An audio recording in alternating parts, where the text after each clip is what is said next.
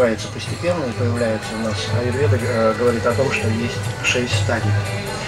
Итак, первая стадия, она называется санчая или накопление. Санчая. А, это то, когда мы потихонечку накапливаем аму в организме. Амы – это токсины, это то, от чего все любят очень чиститься, но на самом деле не всегда нужно чистить организм от амы, потому что она не у всех накапливается. Как когда человек накапливает слизь, вот в том примере, что вы кушаете каждый день на ночь, или же вы едите постоянно, то есть постоянно перекусываете. Допустим, вы позавтракали, через полчаса закинули одну конфетку, через другой полчаса выпили чаек э, с печенькой, потом съели мандаринчик, потом пообедали. То есть у вас постоянно вы что-то жуете. Это вот как раз то, что способствует зашлакованности организма. То есть никогда не нужно так делать, потому что в Аюрведе рекомендуется, чтобы э, вы кушали раз в три часа или же после того, как предыдущая пища переварилась. То есть когда предыдущая пища переварилась, появляется чувство голода, исходящее не из головы, а исходящее из э, желудка. Вот. У кого-то начинает урчать, у кого-то э, ощущение пустоты. То есть когда вы едите так, она не будет накапливаться.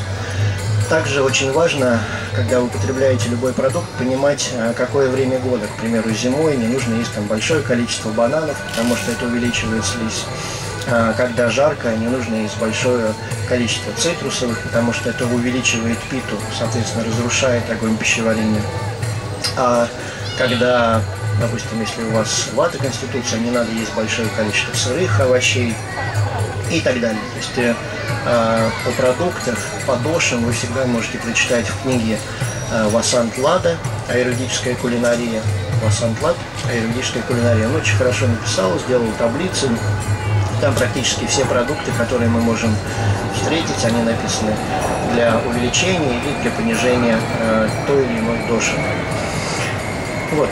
И если после какого-то приема пищи вы чувствуете тошноту, тяжесть, это значит, что эта пища, она или неправильно приготовлена, или, соответственно, а, может быть очень старая, или же наоборот не подходит для вас. Поэтому, когда несколько раз подряд у вас случается то же самое, думаю, что самое простое это отказаться.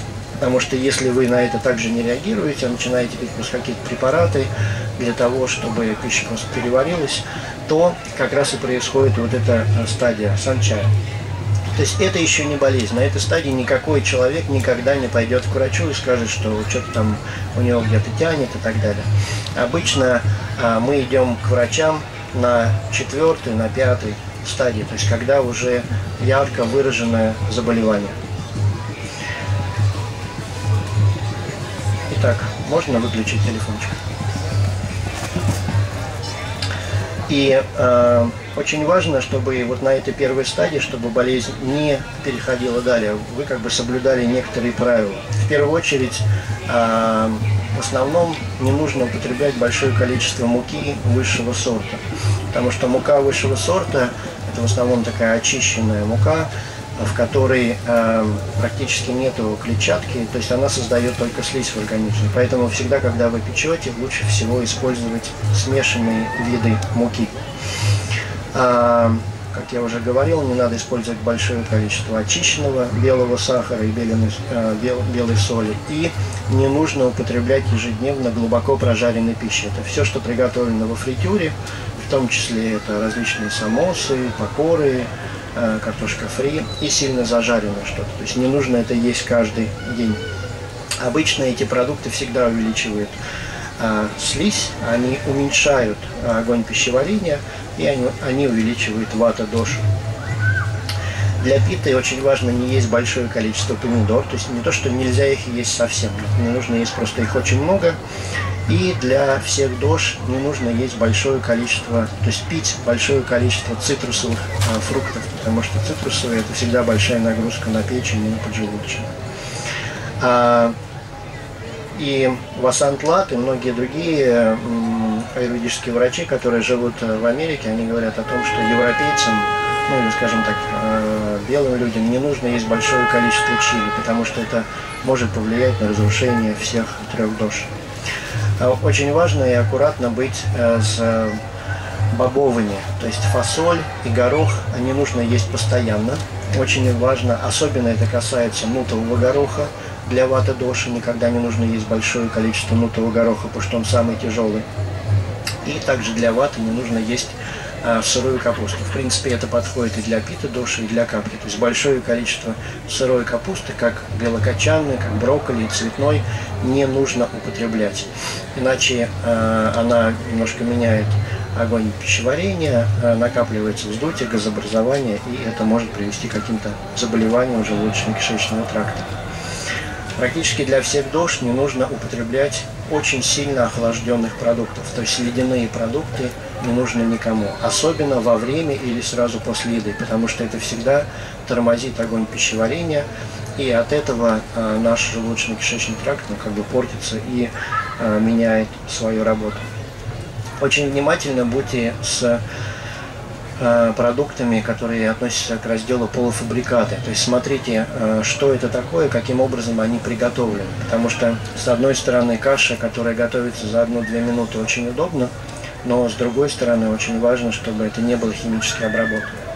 Сейчас э, не знаю, как здесь, в Краснодарском крае, но в Москве появились такие пророщенные плющенные ячмень, пророщенные плющенные пшеница э, и э, другие злаковые, которые очень удобно и быстро готовить можно.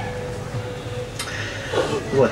Следующая стадия называется прокопа или стадия возбуждения это когда э, симптомы, скажем так, на которые вы не обращали внимания, они перешли немножко дальше. К примеру, обычно, если человек на работе или на каком-то совещании, ему хочется в туалет, там, по маленькому или по большому, он себя сдерживает. То есть он сдержал себя сегодня, завтра, послезавтра, то есть как это постоянно происходит. И на каком-то этапе тело ну, перестает давать такой правильный сигнал. И так как э, оно знает, что в принципе никакой реакции не будет. И, соответственно, мочевая кислота просто накапливается в организме, ухудшается работа почек, ухудшается работа мочеполовой системы, и потом на каком-то этапе мы вдруг узнаем, что у нас появился песок. Но песок это как бы следующая такая стадия. Здесь говорится о том, что доши, которые вышли из баланса, они накапливаются в самых слабых частях тела. Потому что у каждого из нас, э, будь то по генетике, будь то кармически, есть какие-то системы, которые ну, не самые сильные, не самые лучшие. И поэтому доши всегда, когда они выходят из баланса, они накапливаются в первую очередь именно в этих органах или в этих системах. Кого-то это может быть эндокринная система, у кого это опорно-двигательный аппарат и так далее. И, соответственно, э, мы тоже никак не чувствуем это заболевание, потому что это только небольшие изменения в пульсе, но э, болезнь, она потихонечку нарастает, как бы нарастают доши, которые вышли из баланса. И следующая стадия, э, в которую как бы эти доши переходят, называется прасара – это такая стадия распространения. Это когда доши непосредственно начинают воздействовать на определенные ткани. То есть мы потихонечку начинаем чувствовать какое-то недомогание, потихоньку начинаем чувствовать, что болит здесь, болит там, и по-прежнему не обращаем внимания, потому что обычно это не болезнь. Ну, к примеру, если вы утром встаете, у вас там болит голова, ну что, может быть, что-то происходит, а, к примеру, в атмосфере упало давление, и мы принимаем там кто-то ну, в общем, препараты более утоляющие, и как бы идем на работу. То есть сегодня произошло, завтра, послезавтра потихонечку ведет сосудистая система, отток жидкости он может нарушаться, у человека может появиться остеохондроз и другие какие-то проблемы, но мы просто, э, скажем так, таково наше образование, что мы не лечимся, пока ну, на самом деле ничего не болит. Хотя восточная медицина подразумевает всегда обратно, что очень важно ну, просто делать какие-то профилактические меры, к примеру, раз в неделю делать разгрузочный день, там, раз в несколько месяцев делать какие-то небольшие очистительные процедуры для того, чтобы ну, поддержать э, тело в порядке. Обычно э, есть определенные циклы э, ежедневно, когда те или иные доши могут выйти из, э, ну скажем так, доши набирают самую большую активность, и в зависимости от этого нужно принимать какие-то меры. С 6 до 10 утра обычно всегда преобладает капха.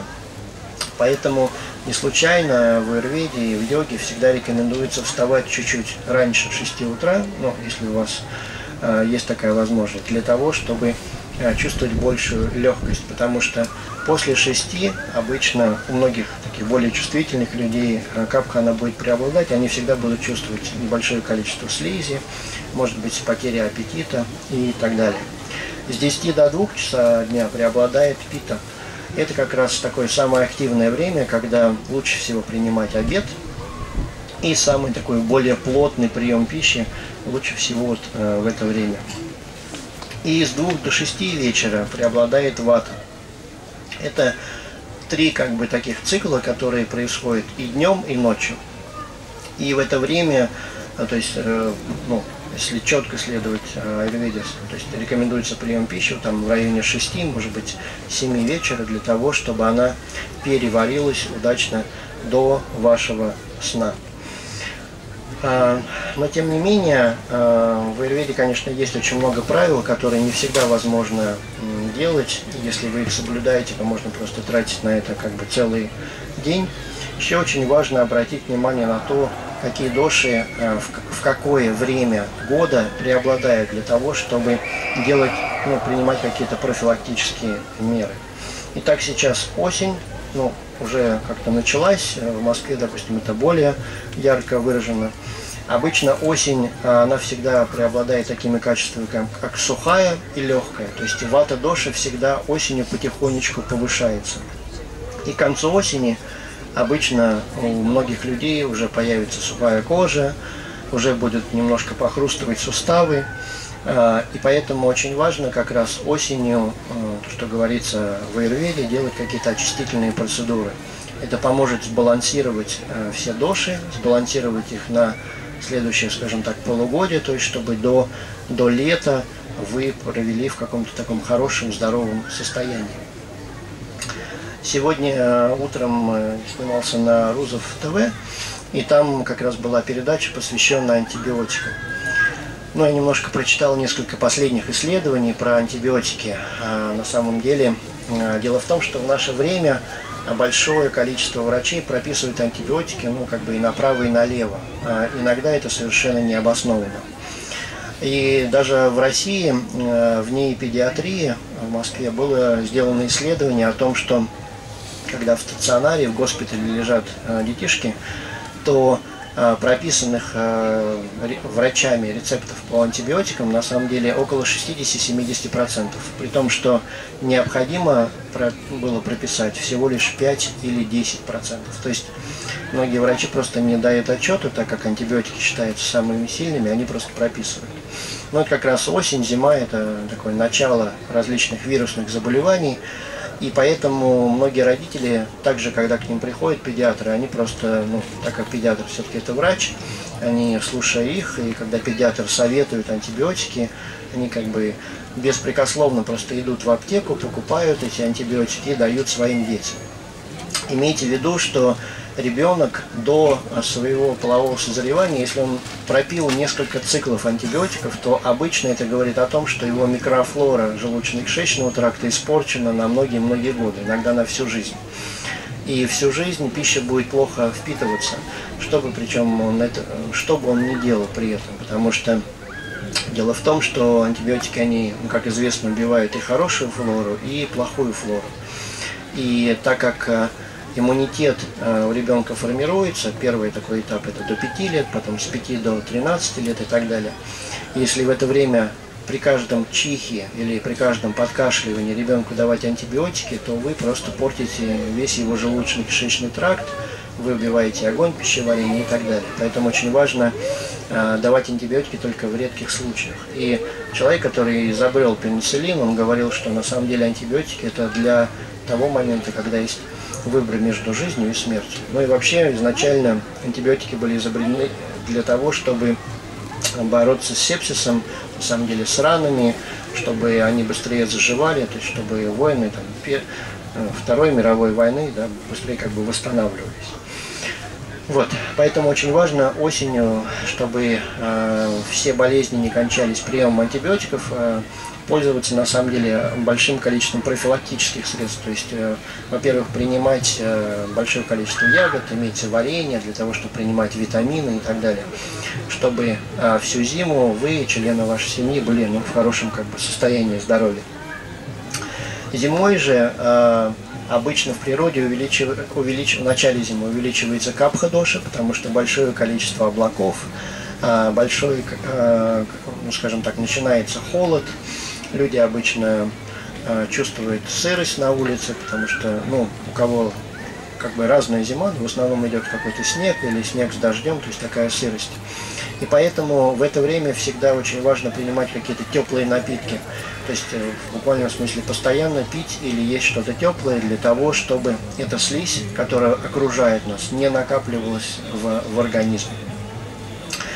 А, очень важно регулировать количество сна.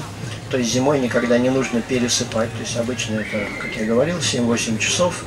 И очень важно, чтобы пища, которую вы ели, не была а, приготовлена на масле а, продолжительное время назад. Смотрите, когда вы готовите на несколько дней, это на самом деле не самая лучшая идея, но особенно, когда вы готовите на ги несколько дней назад, и вы едите это в течение нескольких дней, то это еще хуже, потому что масло ги, с одной стороны, оно обладает такой, такими качествами, что оно улучшает огонь пищеварения – но когда вы принимаете какую-то пищу, приготовленную ноги в холодном виде, то оно ухудшает пищеварение. Как такой кирпич положить в желудок.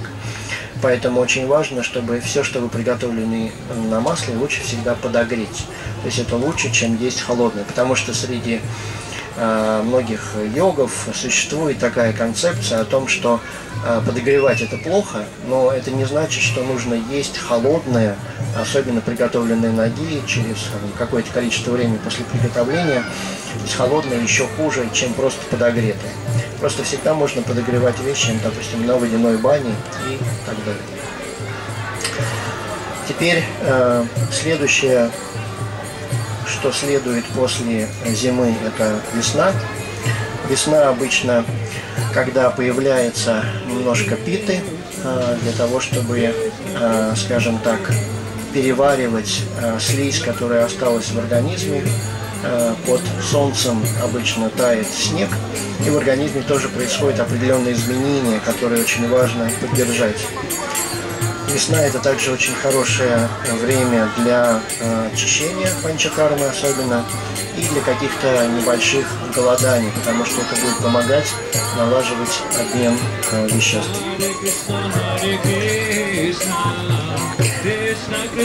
А может быть, какие-нибудь вопросы пока?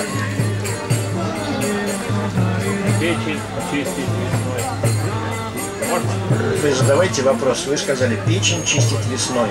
Можно? Можно? Можно. Да.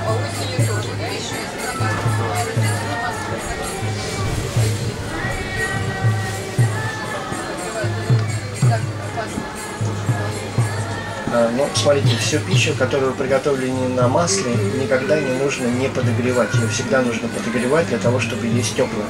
Потому что что значит подогрев с, с точки зрения аюрведа? Это вы увеличиваете количество агни, то есть вы помогаете ферментации тела, потом переварить эту пищу. Когда вы едите холодную, это значит желудок, он должен это, образно говоря, подогреть, а только потом переварить. Когда желудок подогревается, выделяется различное количество микроэлементов, веществ, которые не нужно, чтобы они были. То есть у человека, когда он постоянно есть холодное, через какое-то время появляется повышенная кислотность, изжога и так далее, различные заболевания.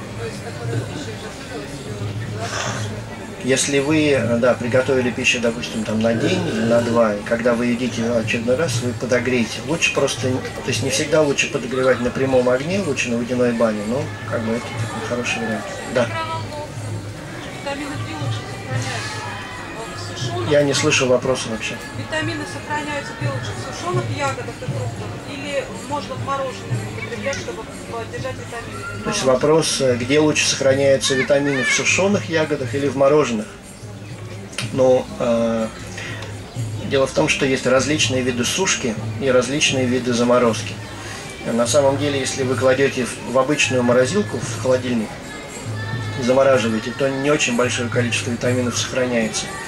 Также, если вы что-то берете и сушите это под солнцем, то тоже не, не очень большое количество сохраняется. Есть такие продукты, называемые сублимированные. Сублимированные продукты, они очень, это такая очень э, хорошая сушка, которая сохраняет наибольшее количество витаминов.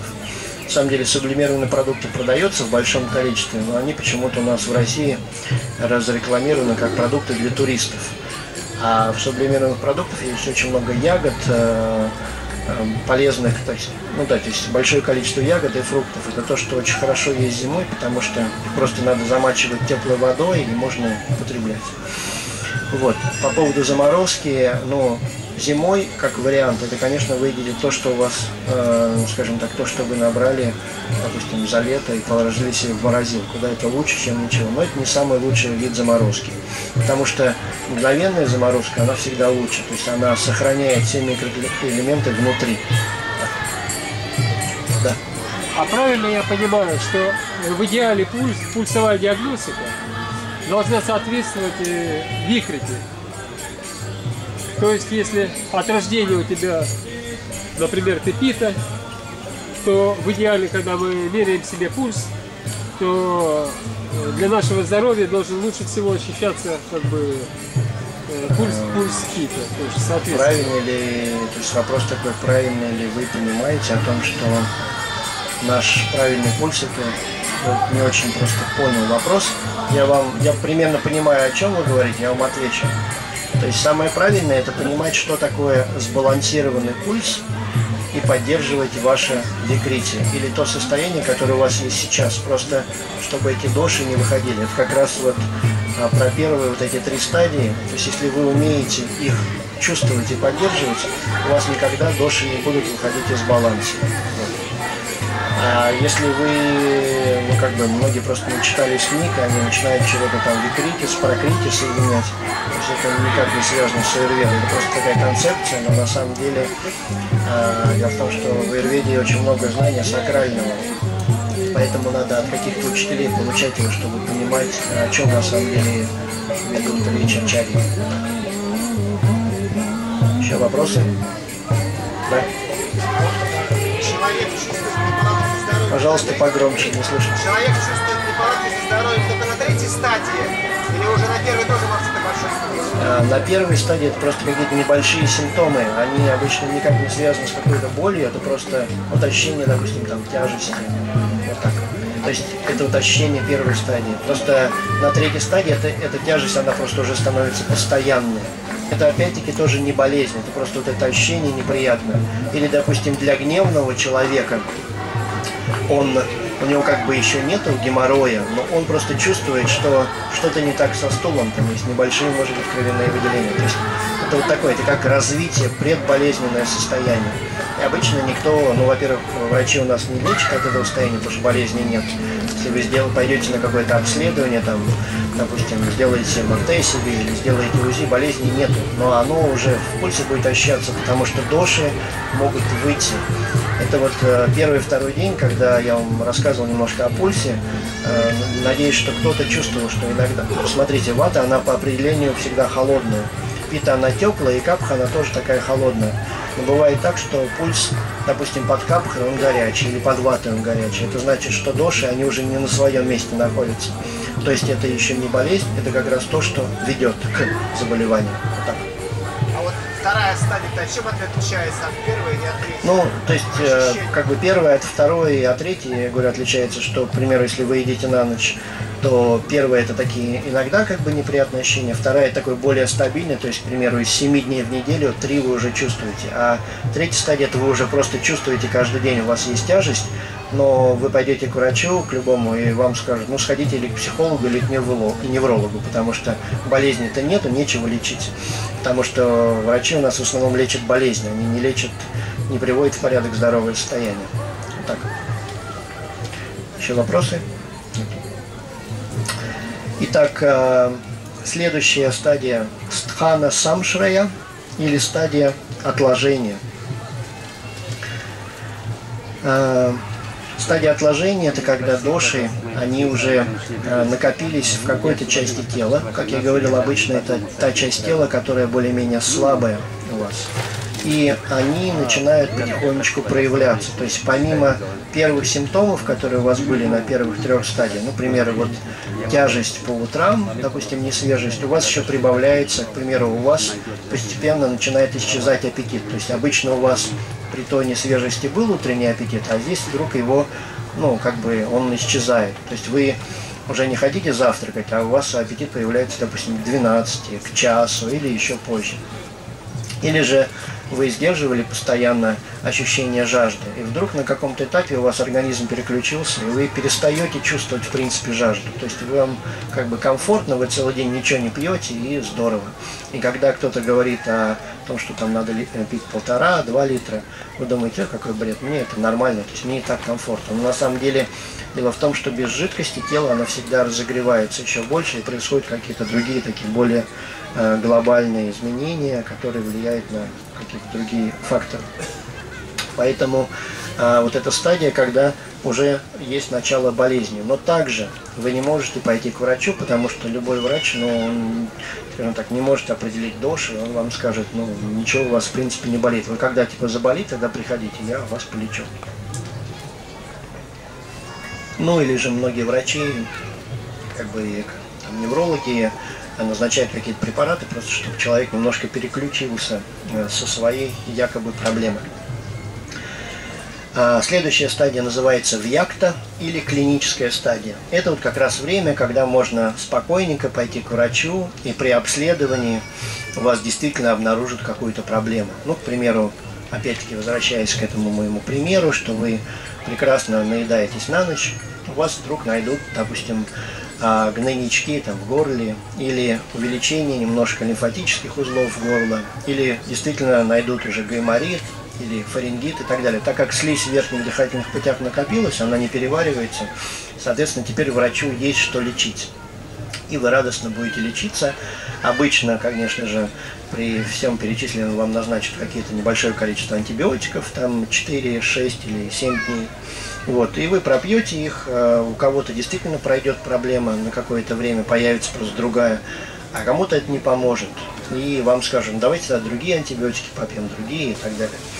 Или вам могут дать э, капли, которые, ну, если не гормонального характера, тоже сос- сосудорасширяющие, которые якобы будут помогать, чтобы у вас не закладывало нос, не было сухости. То есть здесь уже такие вопросы различные, все зависит от специалиста, кто во что гораст. Вот. И обычно в аюрведической медицине рекомендуется, что если вы дошли успешно до этой стадии, то это как раз хорошая стадия для того, чтобы проводить такое полное очищение организма. Причем не делать это выборочно только для какой-то одной доши, а именно чистить, сделать панчакарму. Обычно, как я говорил, это 21 и, так сказать, до бесконечности количество дней. Ну, обычно 21 а 45. Вот. Полностью панчакарму на самом деле э, сделать вот в домашних условиях практически невозможно, потому что есть процедуры, когда вам нужна просто помощь, помощь врача, помощь специалиста. А, Дело в том, что, ну, к примеру, каждый из нас может делать себе самомассаж, но а, при самомассаже вы все-таки не расслабляетесь, вы как-то напрягаетесь, то есть вам, допустим, нужно дотянуться до стопы, помассировать себе затылок и так далее. А чем сам массаж отличается от абьянги? Тем, что вы лежите, вы полностью расслаблены, и с вами кто-то работает. Соответственно, особенно если это еще хорошие руки, то только от этого вы расслабляетесь. Есть также другая процедура, называемая широдара. Я говорил, когда вы лежите на столе, и вам на голову льет отвар. Ее также невозможно сделать в одиночестве, потому что нужен какой-то помощник или помощница, которая подливает в этот сосуд э, теплые отвары, теплые жидкости, ну, для того, чтобы все было, скажем так, успешно и так далее. И также процедуры, которые ну, такие сложные, это как вамана. К примеру, э, в аюрведе ваманы лечится хроническая астма. Да? То есть астма, в принципе, болезнь, которую ну, современной медициной, в принципе, невозможно вылечить. Э, пациент начинает ходить э, спреем своего рода, да, и постоянно там раз в день или несколько раз в день, э, скажем так, прыскать для того, чтобы снимать вот этот спазм. Но как раз астма, она поддается лечению, тоже, конечно, зависит от того, какая стадия, сколько лет и так далее. То есть постоянная склонность к бронхолегочным заболеваниям, то есть, допустим, ежегодные пневмонии или ежегодные респираторные заболевания, это все, что лечится ваманой, потому что это самое эффективное для воздействия на верхние дыхательные пути. И обычно эффект на несколько лет. В аюрведе также нет такого, чтобы вот вы сделали один раз и на всю жизнь прошло. Ну, поймите правильно, что если, конечно, что-то в вашем образе жизни меняется, то да.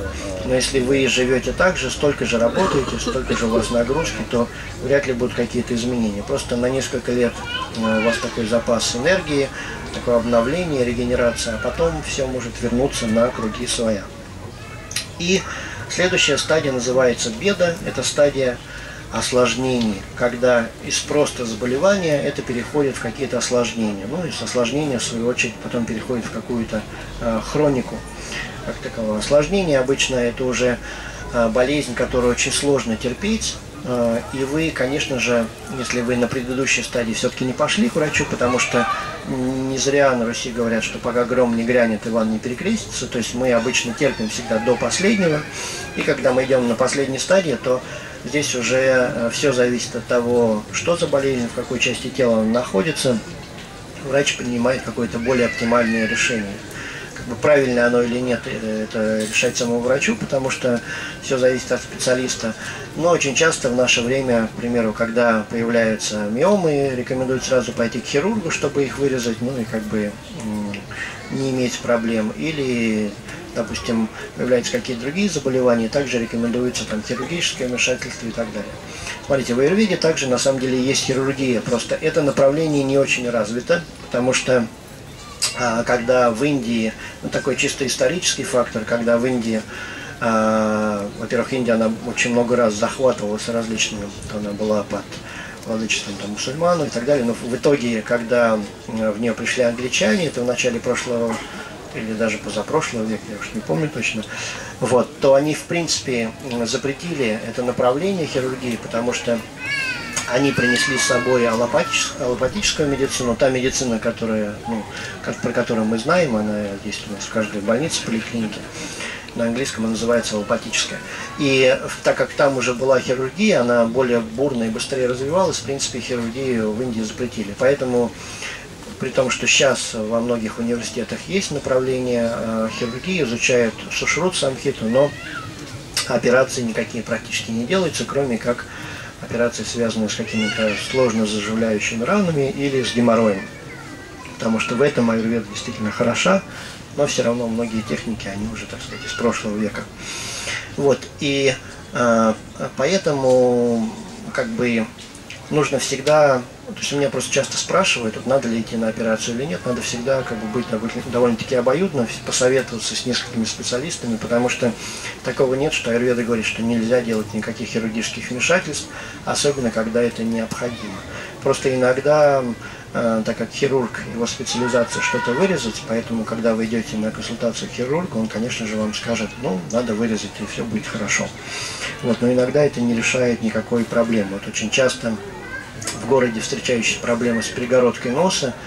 У многих людей постоянно за, э, заложена одна или другая ноздря, и ну, люди идут э, к горло носа, тот э, советует пойти к хирургу, и те рекомендуют, если мы вам точно вот поменяем сейчас перегородочку, немножко поправим, то эта проблема уйдет. И я смотрю этих пациентов по пульсу, там очень много слизи. Я понимаю, что поменяете перегородку, не поменяете слизь, она все равно будет образовываться. И даже если первые полгода или год у человека какое-то облегчение после операции, то потом эта проблема, она опять возвращается. Потому что накопление слизи в организме, оно не связано с перегородками, оно связано с работой, э, с особенностью работы желудочно-кишечного тракта, там, ферментации и так далее. Поэтому многие болезни не всегда нужно лечить только с помощью э, хирургии. Есть ли какие-нибудь вопросы? Да. А, ваману не рекомендуется делать чаще, чем раз в год. Да. Нет, один раз. Просто дело в том, что вамана эта процедура, это не просто вы выпили 2-3 литра водички и, скажем так, э, сунули два пальца, дотронулись до неба и вас вырвало. Это вамана это процедура, в которой есть определенные стадии подготовки, вы специально подготавливаетесь, потом вы делаете ваману, потом несколько дней еще восстанавливаете. То есть такой процесс. Это не то, что в йоге, когда вы выпиваете 2-3 литра воды. Это разные совершенно. Да, это реже, чем пракшалана. То есть, э, потому что ваману, если вы будете делать постоянно, то произойдет просто такое глобальное истощение организма. Его потом ничем невозможно будет восстановить. Это вамана, да, это... Нет. Нет, смотрите, давайте так. Есть э, в йоге, как в йоге правильно называется очистка, э, вот, когда рвотные делают? Кто-то помнит? А? Ну, наверное, вамана, да. Вот, вамана есть в йоге, а, а, ну да, потому что санскритское слово, в принципе, вамана. А, но что такое вамана в аюрведе? Это, то есть, есть э, 3-5 дней подготовки, когда вам делают специальные массажи, потом, а, то есть делают абьянгу, делают пропаривание, делают широдару, и иногда делают хардару, это такая процедура на сердце, делают рамочку, туда наливают э, масла, чтобы опять-таки слизь в организме потихонечку накапливалась. И за счет этих процедур, чтобы вы расслабились максимально глубоко. Это 3 или 5 дней происходит. Вы следуете определенной диете, и на последний день, на третий или на пятый, на ночь вы едите большое количество сладкого риса обычно, там, каких-то сладостей, которые вызывают непосредственно слизь. Вот, потом э. Не пирожки, то есть ничего мучного. Потом э, день ваманы вы выпиваете, ну, классический вариант в Индии, как я говорил, это солодка с молоком, то есть там пол-литра солодки и пару стаканов молока, и все будет уже как бы хорошо. То есть у вас произойдет вамана, потому что сама по себе солодка такая. Вот, то есть здесь никаких трех литров в принципе нет. Вот. И во время ваманы, на самом деле, врач должен следить о том, как она происходит. А, ну, в буквальном смысле, так как для врача это не то, что неприятно, просто вы следите, какая слизь выделяется, вы просто, там есть определенная градация слизи, когда полное очищение произошло. Потому что если выпив солодки и молока это не работает, вы продолжаете дальше. Но это все только один день. Потом э, человеку дается на протяжении трех, пяти или семи дней такая восстанавливающая диета. Вот это то, что вамана. И ну, сделав ее один раз, вам ну, в ближайший год вряд ли захочется ее делать. Еще э, в эти 5-7 подготовительных дней вы пьете большое количество масла.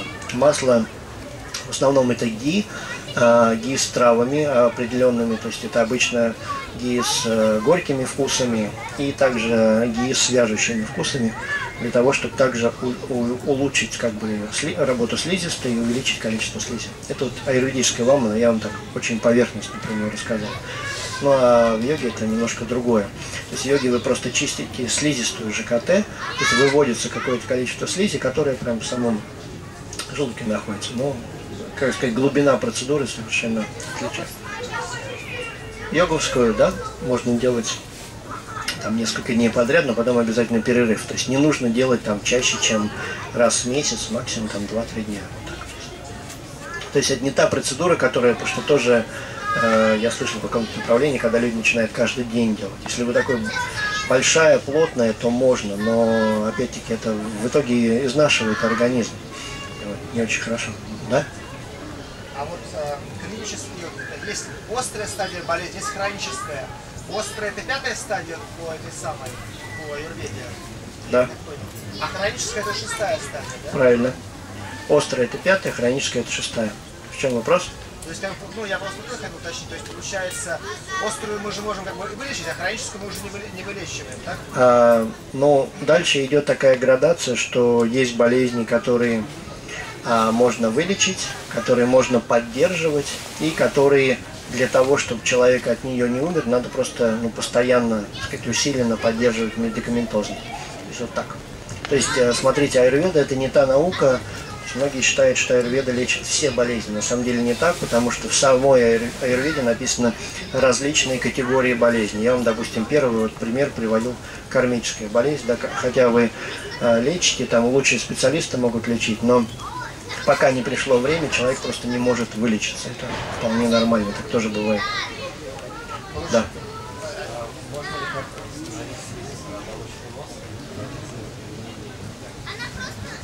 Вопрос такой, что можно ли восстановить слизистую носоглотки при продолжительном применении каких капель? Сосудов суживающих капель. Ну, и да, и нет, потому что надо экспериментировать. Лучше всего при этом использовать такую ану тайла. Ану тайлам это специальное масло, э, его делают в Индии, и практически во всех ап- аптеках в Индии продается. У нас тоже в России, мне кажется, компания Амрита зарегистрировала или кто-то, я видел. А, Вот, ну, по крайней мере, в интернет-ресурсах точно можно купить а, это масло. И оно как раз э, смазывает и питает слизистую, просто его обязательно надо закапывать только в теплом виде, его лучше всего закапывать только с утра. После этого там не нужно выходить на мороз и делать это продолжительное время. То есть согласно э, аюрведе его в принципе можно закапывать каждый день. Но как раз чтобы слизистую привести в порядок, лучше э, продолжительное время. И всегда лучше начинать, допустим, не в то время, когда у вас обострение, то есть заложен нос зимой, а лучше начинать, скажем так, там, с э, лета, может быть, с весны, когда есть время, чтобы организм немножко пропитался. Так, э, вопрос такой на листочке. Вредно ли МРТ?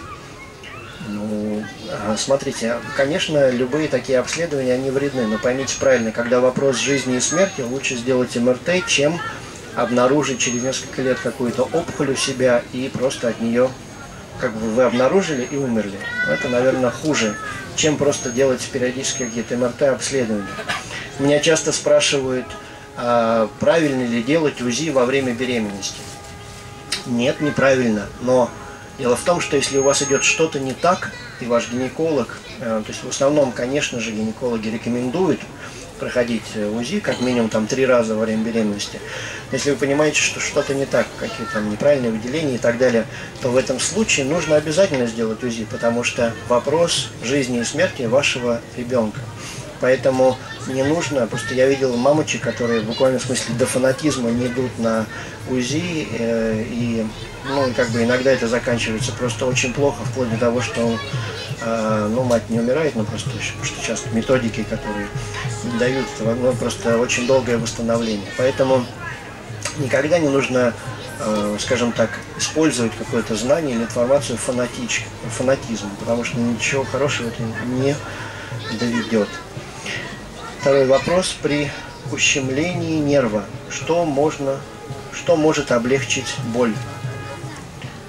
А, ну, если этот нерв связан, то есть защемление произошло где-то на уровне опорно-двигательного аппарата, обычно вам нужно идти к специалисту, который называется или мануальщик, или остеопат, ну или есть какие-то специалисты, то, что в Индии называется мармотерапия, то есть пойти кому-то, чтобы он вам его разжал.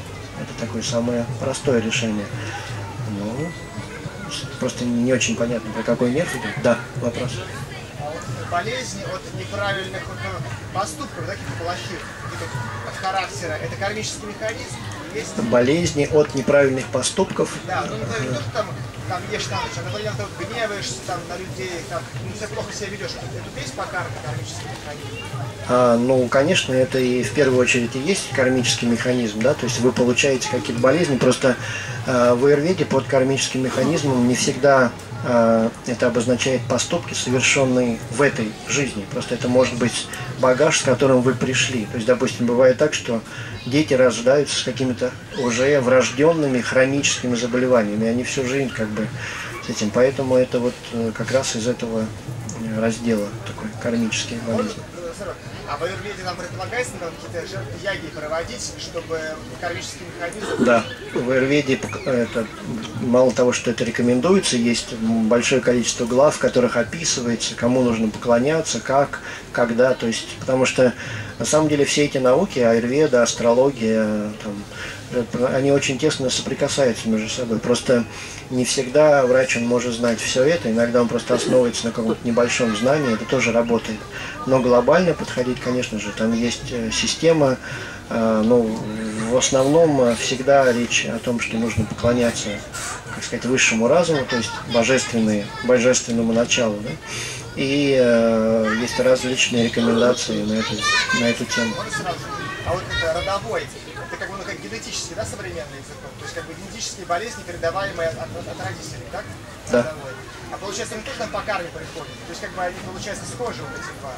Они схожи, да, Потому есть мы мы небольшое мы различие. бы приходим к тем родителям, которые мы, ну, заслужили по карме, так? Да, Болезни. то есть, ну, здесь как бы вы рождаетесь в каком-то роду и получаете болезни, которые именно в этом роду. Конечно же, это, скажем так, своего рода кармическое. Но есть Но кармические заболевания, это имеется, когда вы родились в семье, и у вас появилась какая-то своя болезнь, которая только к вам относится. То есть, допустим, ни у мамы, ни у папы, ни у бабушки, дедушки не было такого никогда. То есть в этом и разница.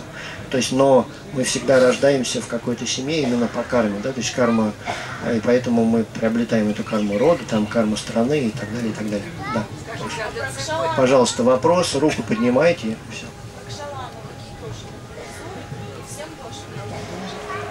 А, Про кшалану, если вы делаете умеренно, максимум раз в месяц, то можно делать для всех дож. Когда вы делаете ее чаще, то вы можете вывести какую-то дошу, которая у вас более слабая. Это надо вас смотреть. Ну, в принципе, обычно да, всем можно. Ну, обычно да, но просто надо всегда обращать внимание на э, заболевания, э, сердечные заболевания, насколько у вас это есть, есть ли какие-то проблемы, или заболевания вегетососудистой системы, потому что не всегда все могут переносить эту процедуру, потому что она, ну, как бы немножко сложная. Это связано с какими-то ощущениями, то, что будет потом, то есть э, иногда, э, скажем так, ожидание того, что будет потом, человека не дает возможность, допустим, там, совершить ванну. Да. Я хотел просто спросить, вот дети с ДЦП, это и есть то, что вы вот сейчас перед? Я перед этим говорил о не Да, да, это и есть кармические заболевания. Вот. Да. А, извините.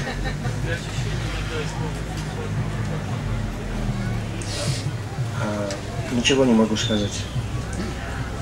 Да. Что такое сублимированный продукт? Сублимированные продукты – это продукты, которые высушены с помощью а, вакуумной сушки. То есть, э, ну, скажем так, взяли ягоды, поместили их в вакуумную сушку, и они за секунду высохли. То есть а, нету возможности витаминам погибнуть, они все там остаются. И поэтому, когда вы заливаете их водой, примерно 80 градусов, то они все как бы раскрываются. Такой хороший продукт для зимы. Ну, я, допустим, много лет уже подряд зимой сублимированные ягоды А это ну, какая-то фирма выпускает? это в интернете надо просто посмотреть много фирм. Э, Я думаю, что самое ближайшее к Краснодарскому краю, вот Волгоградская область, там есть завод. То есть это делают несколько заводов в России, да. Для улучшения зрения что порекомендуете, кроме гимнастики, для глаз, чтобы очки не носить?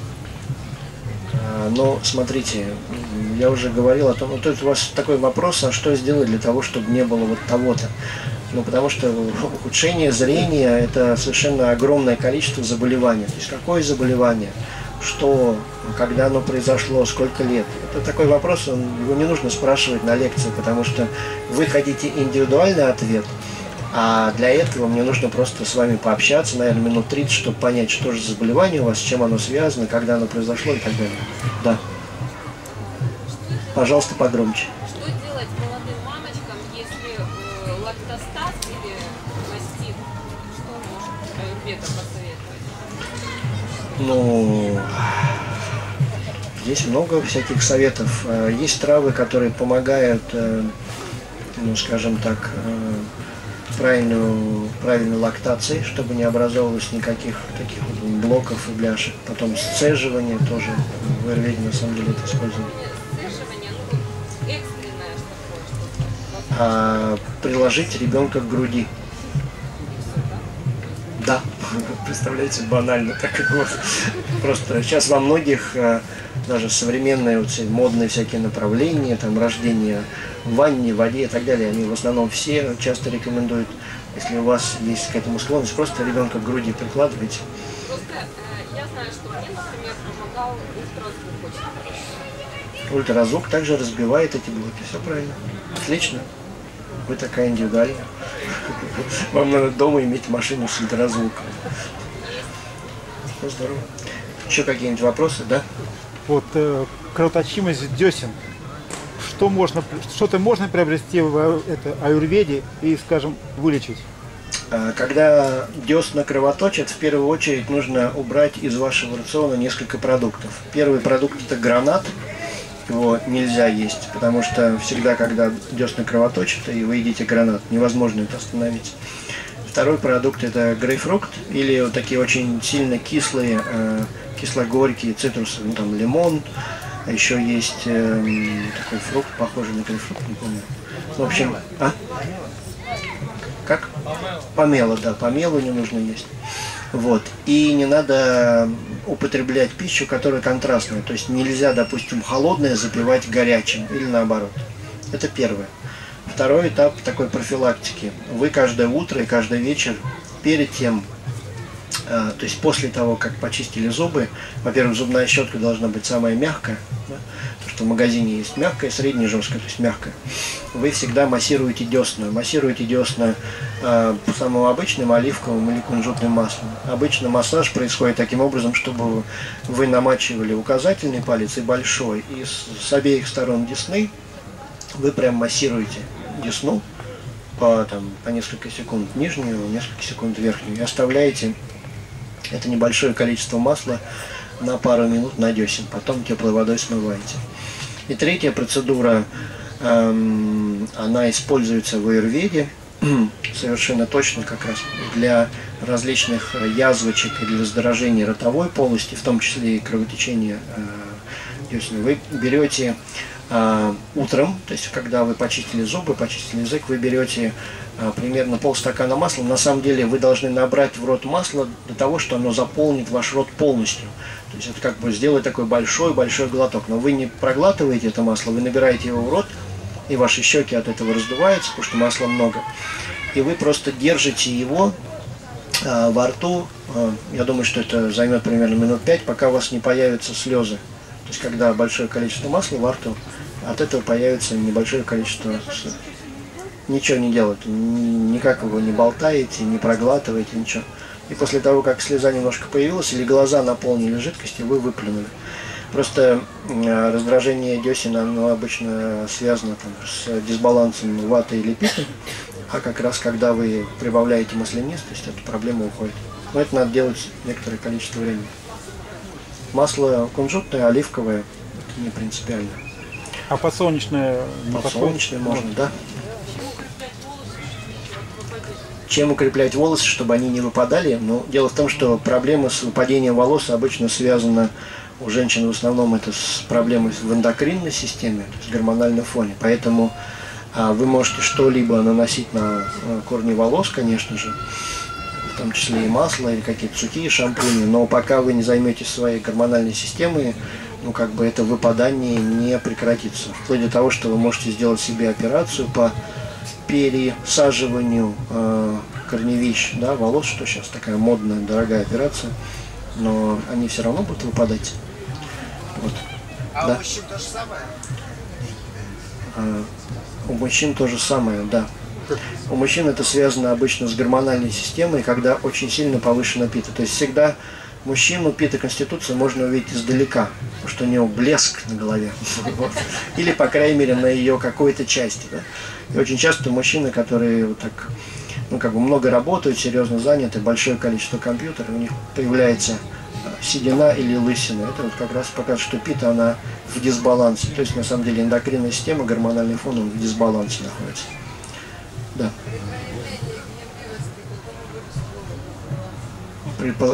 Проявлении гневливости какому божеству поклоняться? Ну, во-первых, нужно понимать, что в каждом теле э, живет частица Бога. Да? То есть, во-первых, вы должны научиться уважать ближних. Потому что если вы напрямую идете к Богу, то на самом деле это немножко такой как бы конфликт с природой. Вы полюбите просто ближнего сначала, а потом уже обращайтесь к божествам. да. Надо просто научи- научиться любить в первую очередь себя, а потом других. Вот так. Пожалуйста. Еще вопросы? А что бы вы хотели еще услышать по аюрведической медицине? Вот вы все пришли на лекцию. Какие ваши ожидания? Да, Я вчера спрашивала, погромче, пожалуйста. вчера спрашивала, не успела получить ответ. Вы говорили про то, что большая часть людей капка доши это просто слизь, то есть это не капка. Есть специалисты, которые могут точно. И Если специалисты что? По пульсу, которые могут поставить капку доши, что это точно капка, а не слизь, там. А, ну, такие специалисты есть, да? Почему нет? А вопрос-то в чем? Есть ли специалисты? Я вам отвечаю, есть специалисты. Да, отлично. Знаю ли я таких специалистов? Да, я знаю, допустим, себя знаю. То есть я, я точно могу определить, у вас вата, пита или. А принимаете? Нет, я не веду прием здесь, я веду прием только в Москве. А Вот. Еще вопросы? Что вы еще хотите? Не, ну смотрите, я могу просто определить пульс, но дело в том, что а, вопрос, зачем, что вы с этим будете делать? Дело в том, что определить не какая доша. Вы хотите просто определить, какая доша у вас. Вам от этого станет легче? Отлично. Для вас я это сделаю исключение. Еще вопрос? Да.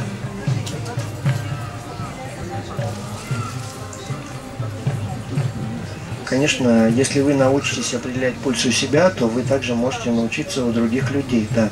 То есть, в принципе, для этого это и делается. То есть в Аюрведе, ну, в Аюрведе вообще считается, что врач, он хороший тогда, когда вы к нему приходите, и он вам как минимум 60% ваших заболеваний может рассказать. То есть, если врач может понять ваши заболевания, это значит, он видит ваши проблемы внутри. Он не видит просто симптомы, которые вы чувствуете. Он понимает, в чем их природа, в чем их корень, и он может их лечить. То есть такому человеку можно доверять. Ну, как мой учитель говорил, что э, важно, чтобы врач видел человека как книгу. Тогда он понимает, что нужно лечить, что самое важное. Потому что очень часто, когда мы приходим к врачу, мы жалуемся на то, что на самом деле не является важным. Ну, к примеру, очень часто я видел, ко мне приходит женщина, у нее там просто ужасный гормональный дисбаланс, а ее интересует только то, что вот у нее там выпадает несколько волос. Для нее это самое важное. Пожалуйста, решите это, и все остальное будет хорошо. Да? То есть, ну, так как э, наладив это, она просто уже тогда обращает внимание на другое. И тогда, ну, у мужчин какие-то там другие проблемы. То есть, вот такое. Поэтому иногда мы чувствуем, ну, как бы так как мы любим себя как-то особенно, мы иногда не совсем адекватно понимаем, что же самое важное в нашем теле. Вот. Еще вопросы? Да? Пожалуйста, погромче. По осени болят кости. Ну вот, остеопороз. А, вы говорили, что это лечится, ну, дисбаланс ваты, это в первую очередь, если это еще и болевые ощущения. И это лечится клизмами с маслом. А, как правильно сделать микроклизму? Если по весне и по осени у вас болят суставы, да? И у вас есть остеопороз. Понятно? У мамы. У мамы есть остеопороз. Так, отлично, потому что для вас еще рано. Итак, и что делать? Как правильно делать микроклизму с маслом? Как правильно делать Вы говорите, что масло надо 70 на 30 развести водой, оно Ну, вот сам э, процедура. 50, 100, 150. Да, общая формула такая, но на самом деле, смотрите, надо очень важно подобрать препарат. То есть это не просто клизма там с маслом и с водой. На самом деле правильно отварен, а, отваренные травы, правильно добавленные травы и составляющие в препарат. Потом э, пористость ее обычно также надо лечить еще препаратами орально. То есть принимать определенные препараты в аюрведе, хотя бы вот э, такой популярный йогарадж, гугул, это тот препарат, который помогает избавиться от этого. И еще надо понимать, что если это пористость связана именно с возрастом переходным, да, то есть э, климаксом, то тогда надо еще принимать препараты для эндокринности, то есть такой комплекс, там, чандра, прабхавать, там много, то есть, ну, опять-таки, это вот такой вопрос, который лучше э, на консультации решать, потому что он очень общий, и ответ он может быть общий, но на самом деле не относящийся к вашей маме, потому что оказывается, что там все совершенно по-другому. Вот так, да.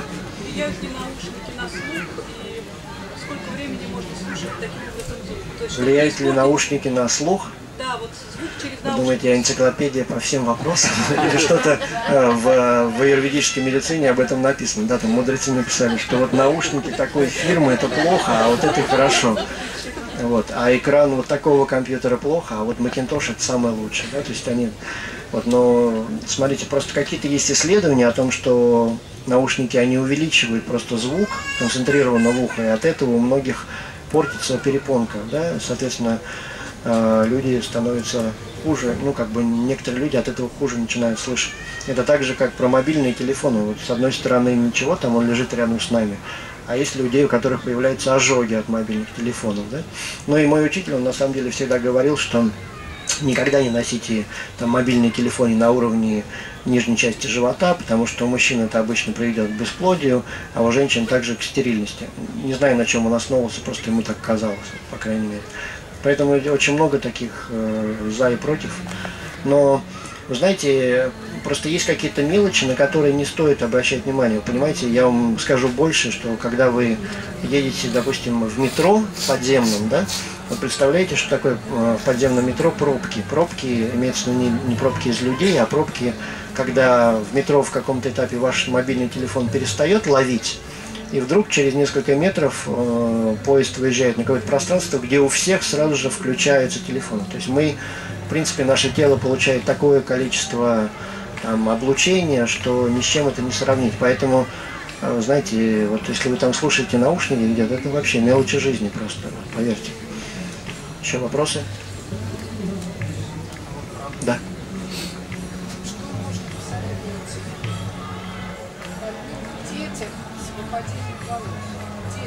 Что можно посоветовать больным детям с выпадением волос?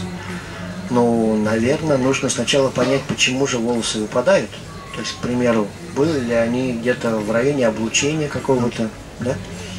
Не было. Просто, ну, тогда нужно, то есть, возраст ребенка, надо пойти, может быть, к эндокринологу посмотреть, то есть, чем это связано, к неврологу, то есть, тера- ну, педиатру просто, потому что здесь очень тоже такое глобальное, почему же волосы падают. Бывает так, что я видел нескольких детей, ко мне привозили, которые вот 6 лет, вроде бы мама с папой развелись, и у него плохо, у него постоянно, так сказать, изжога, постоянно понос, и как бы вот выпали как раз волосы, да, то есть ребенок просто так это понял, и все. Это не связано вообще ни с какой болезнью, просто с ситуацией связано. Вот. И как бы поэтому у иногда у ребенка не такая логика в болезни, как у взрослого человека. Поэтому надо просто смотреть, что за ситуация в общем. Да? При варикозе э, то, что в аюрведе советуется, все, конечно, зависит от стадии, но обычно при варикозе э, в аюрведе рекомендуется массаж кунжутным маслом, как я уже говорил, от таза к стопам. Те места, в которых есть сильный варикоз, конечно же, не нужно трогать, но массаж, понимаете, это не всегда подразумевает какое-то сильное натирание. Вы можете также поглаживать свою руку, это, в принципе, можно назвать массажем. Поэтому а, вы, если в вашей семье есть склонность к варикозному расширению вены, или вы понимаете, что сосуды у вас не очень хорошие, то чем раньше вы начнете такой массаж, тем лучше. Обычно речь идет о том, чтобы делать э, как минимум 4-5 раз в неделю такой массаж. Вы берете небольшое количество масла, это может быть кунжутное, может быть оливковое, может быть кукурузное, в зависимости от вашего, ну, скажем так, от э, телосложения, от вашего викрити. И вы утром перед тем или вечером перед тем, как принимаете душ, массируете. Очень аккуратно сначала массируете до колена, обязательно под коленом, потом от колена до ахиллового сухожилия, обязательно вокруг стопы везде. И везде, где появляются такие маленькие капиллярчики, вены, вы тоже обязательно массируете. Но именно направление от таза к стопам, да, то есть я не путаю. Это не классическое направление, наоборот. И по моим наблюдениям, потому что это как бы одна из таких проблем, которые в России людей интересуют. Я просто в Индии очень много наблюдал за индусами и иностранцами. Действительно очень хороший эффект. Ну и, в принципе, в России я тоже э, практикую более 9 лет. Могу сказать, что э, очень хороший эффект для, на, на ноги, когда женщины и мужчины массируют именно от к стопам. Нужно понимать, что варикоз это не только в ногах, это все сосуды, но, по крайней мере, так как мы в основном ходим ногами, то очень часто самая большая нагрузка и самое большое проявление таких сосудов именно на ногах. Масло должно быть обязательно теплым, потому что когда вы массируете себя холодным маслом, вы в первую очередь забиваете поры, ну и создаете другие проблемы, прыщи и так далее. И так далее. Да. А как можно вылечить нейросенсорную тугоухость? Как можно вылечить что? Нейросенсорная тугоухость. Нейросенсорная тугоухость. Вау. А, ну, а при этом есть шумы. Но обычно это заболевание связано с ватой доши, то есть э, там надо смотреть, в каком состоянии находится в первую очередь шейный отдел, есть ли правильный приток и отток жидкости, надо смотреть, в принципе, на какие-то доши, то есть, как я говорил, в основном балансировать вату. Я видел несколько раз у людей после, э, допустим, 7-15 процедур, именно таких, как э, баски, клизмы, то есть такая проблема уходит. Но это не всегда. Просто очень важно, какие травы там используются в басте. Есть определенный сбор, э, наборы трав. Э, То есть, допустим, вот я говорил там про препарат дыхания Вселенной, э, препарат Радуга, который добавляется в эту клизму, и тогда эта проблема уходит. Но есть еще также различные закапывания, прием препаратов оральных, то есть это надо так глобально к этому подходить со всех сторон. Но в первую очередь это шейный отдел надо проверить, в каком он состоянии. Потому что бывает так, что у человека приток жидкости хороший, а ток плохой, понижается или увеличивается внутричерепное давление, это само по себе создает такую проблему. Вот а как ее продиагностировали и не назвали, иногда это не всегда совпадает с тем, что есть на самом деле. Да. Вот вы сказали, 9 лет практикуете.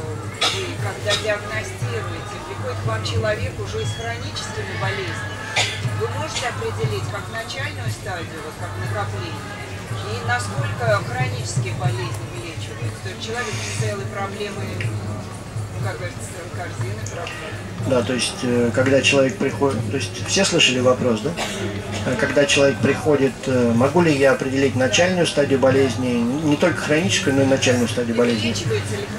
А? То есть, смотрите, конечно же, я определяю начальную или какая-то болезнь уже хроническая. Нужно понимать, что всегда есть какие определенные возможности. Я знаю там около, скажем так, там около 300 комбинаций различных пульсов, то есть различных заболеваний.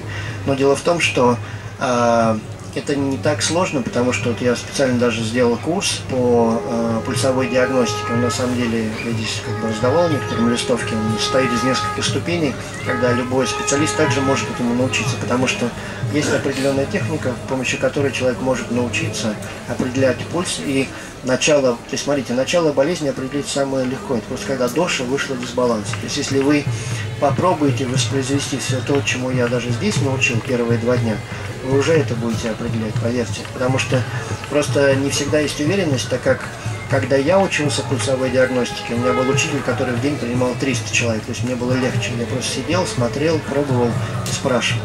Вот когда нету человека, который может показать, это сложно, но в принципе это возможно. И определить начало болезни это самое легко. Вопрос определить, насколько она хроническая, насколько ее можно вылечить, это более сложно.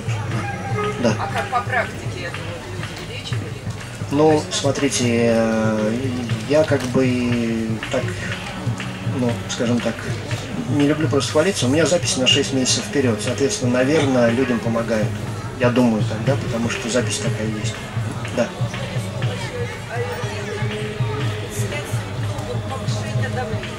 А симптом снять, э, симптом повышения давления с помощью аюрведы можно снять. Снять симптом, да. Вопрос в том, что можно ли это вылечить, вот в чем вопрос. Как снять симптом? Ну, надо просто смотреть, почему у вас повышается давление. Потому что оно может повышаться за счет неправильной работы почек, за счет внутричерепного давления, за счет остеохондроза шейного отдела. То есть вегетососудистости очень много проблем, почему оно может повышаться. То есть для этого надо сначала определить, от чего оно повышается, и потом его снимать.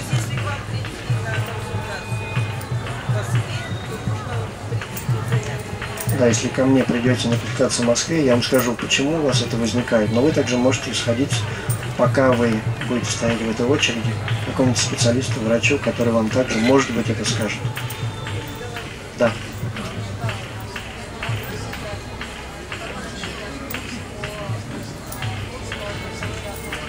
На кого рассчитан курс по пульсовой диагностике? Для всех желающих. Единственное, есть такой минимум, с которым вы можете прийти на этот курс. Вы должны прочитать книгу или Васантлат, э, ну, как бы основы юридической медицины, или э, Роберт Свобода Прокрити, или же Дэвид Фроли Аюрведа и ум. Там просто даются все необходимые начальные знания. Даже если вы читаете Роберт Свобода Прокрити и Дэвид Фроли Аюрведа и ум, то там довольно-таки глубоко разбирается Аюрведа, потому что есть просто те вопросы, которые я не буду, на которые я не буду отвечать во время этого курса, потому что они не будут относиться. То есть вам нужно обладать начальными знаниями. Вот. Второй вопрос. Нет, это для, то есть очень много врачей придет на этот курс, потому что это то, что вы просто дома вы можете использовать для себя и для близких, а врачи они могут это использовать. И так как я этот курс провожу не первый раз, э, я очень много врачей обучил, то есть за последние 6 лет моего преподавания в РУДН, ну, наверное, более 300 специалистов, которые практикуют пульс, и они в своей практике используют его и рассказывают мне о хороших результатах.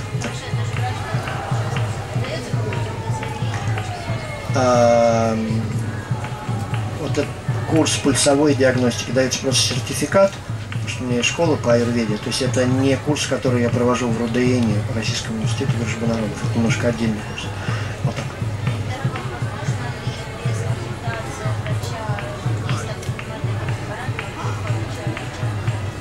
А, ну, смотрите, вы можете без консультации врача и юридиста принимать и трифол, и чанпраш. Главное понять, зачем вы их принимаете и как э, они могут вам вообще в принципе помочь.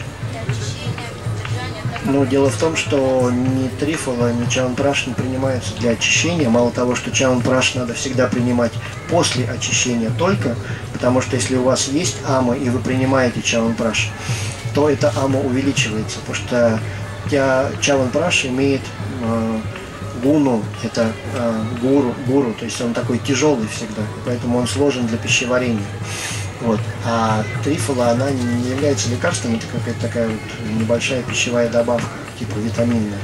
Вот просто, ну, вы пропустили предыдущие лекции, я там рассказывал про это.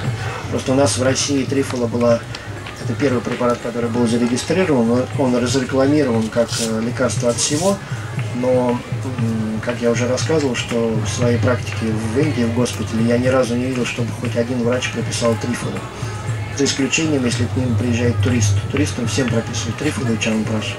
Популярная тема очень. Да, ваш вопрос.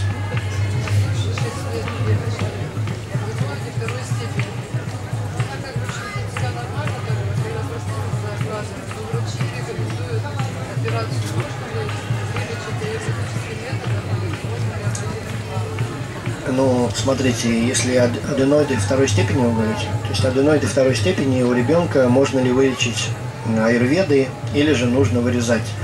Но а, опять-таки очень важно понять, в каком состоянии вообще находится иммунитет, да, потому что я, к примеру, как бы банально это не выглядит, я знаю несколько бабок в Московской области, которые просто заговаривают аденоид в полном смысле этого слова, потому что я даже несколько детей посылал таким бабушкам, они просто заговаривают, и у ребенка никогда больше нет воспаления аденоидов. Но это индивидуально, понимаете, то есть надо смотреть, нужно смотреть э, там, у меня есть такая знакомая баба Зина, которая она уже последние лет 50 заговаривает всякие различные вот, э, ну, то есть она еще миомы там заговаривает и так далее.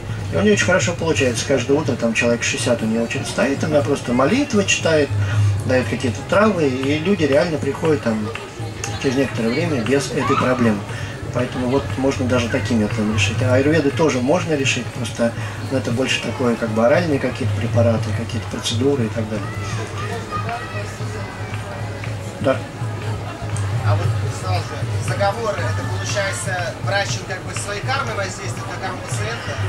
Я не, не изучал, э, то есть вопрос такой, заговоры, это врач он своей кармы воздействует на пациента или нет. Я не изучал этот вопрос, просто воздействует ли карма или воздействует сила мантр, которую потому что она повторяет молит, молитвы. Молитвы, которые ей передала своя бабка и бабка, бабка. В общем, они, как сказать, идет такая парампора. И они просто, как в аюрведе есть тантра, то есть при помощи звука лечатся определенные болезни. Очень популярная тема это в тибетской медицине. Я видел очень много врачей, которые головную боль с помощью молитвы вылечивают. И действительно, у меня был один дружок, у которого была хроническая мигрень. Вот, э, аюрведа помогала, вот он пил, как бы помогала, к вечеру опять мигрень. Мы поехали в Тибет и встретили одного врача, который действительно просто почитал буквально 2-3 минуты э, мантры. Этот человек, мой дружок, повторил за ним, и мигрень прошла, ее никогда не было после этого. Вот. И вопрос, э, карма ли это, скажем так, врача или нет, я не знаю. Честно, как понять, то ли уже вот до этого момента уже заканчивалась карма у человека? Я не знаю, это надо у Господа Бога спросить, это не у меня, да. Пожалуйста, погромче вопрос. Это лечится с помощью мармотерапии, это определенное воздействие на каналы, то есть, э, ну, скажем так, это не совсем иглоукалывание, но это воздействие на каналы, когда а, улучшается циркуляция левого и правого полушария. То есть, там есть определенные методики, когда, но просто это очень все сложно и, так сказать, долго. Но такое существует действительно. Я а, в Индии а, был в группе врачей, которые наблюдали, вот а, один из последователей моего учителя, он э, преподавал марвотерапию, у нас была группа, э, две группы на самом деле по 30 ребят, у которых э, ну, проблемы с развитием и речевого, и в том числе. Вот э, многие из них э, э, ну да, то есть в основном это проблема развития, различные стадии и степени.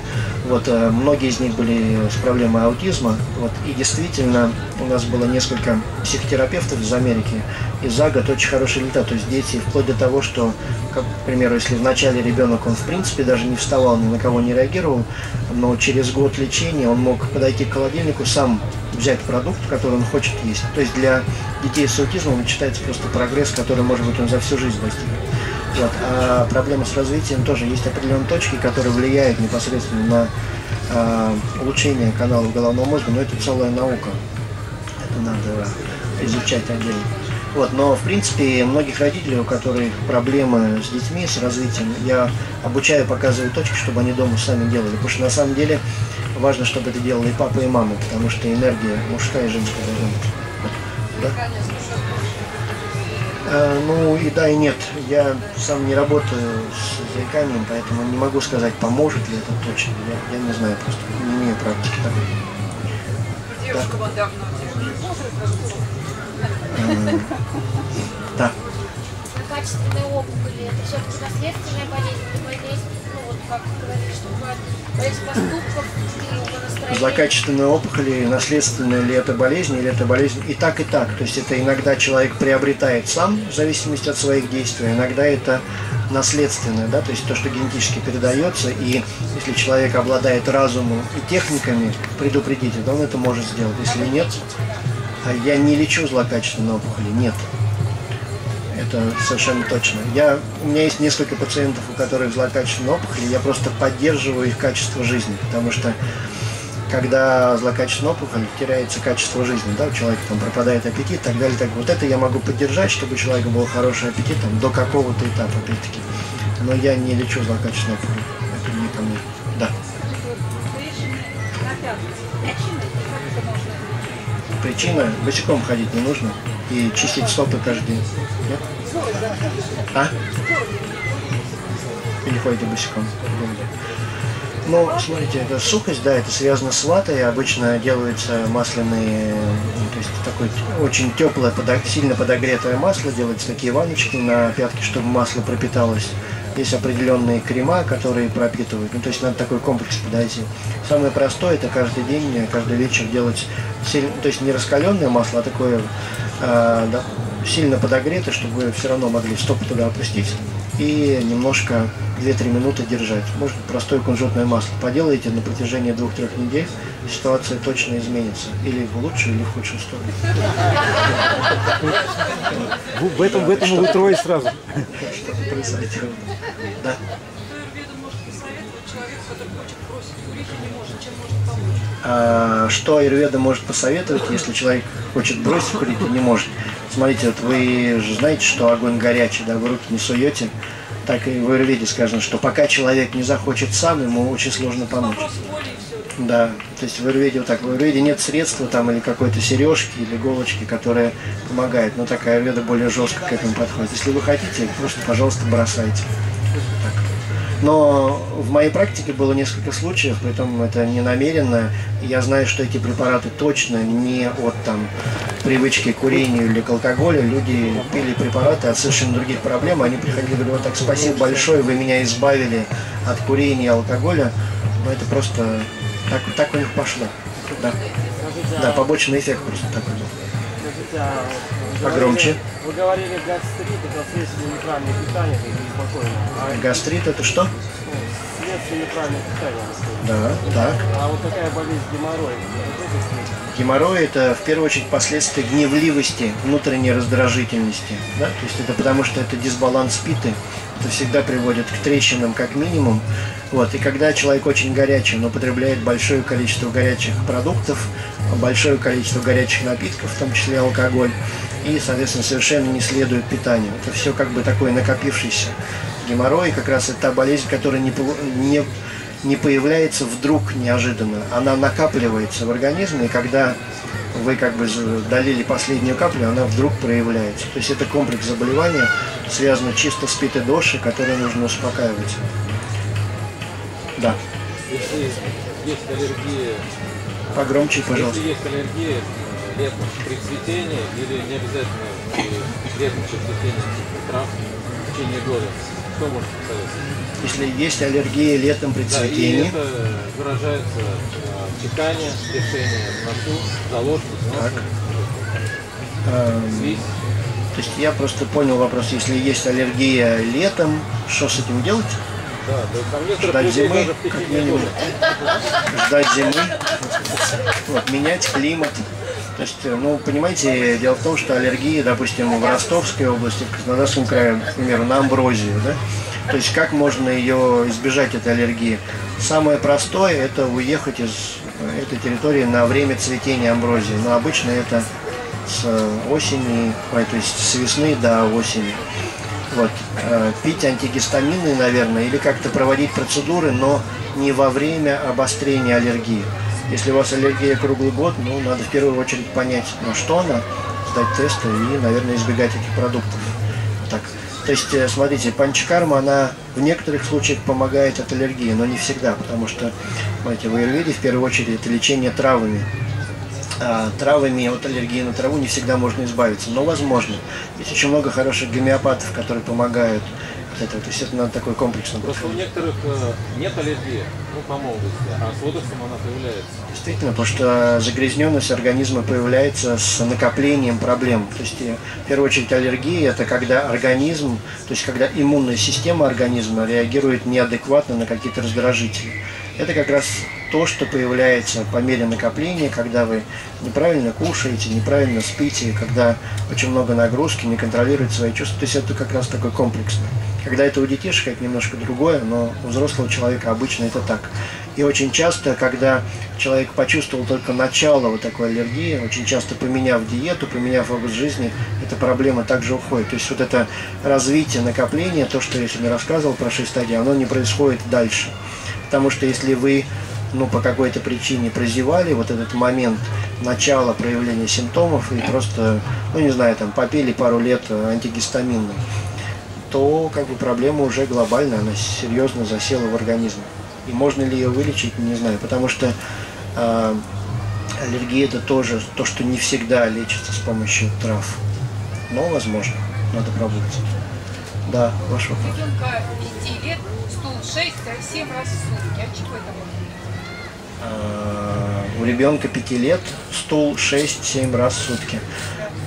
Я не знаю от чего, надо его смотреть. Обследовали ничего, Ничего не находят. нашли? Да. Назначают ферменты, назначают смерть, и опять все повторяется.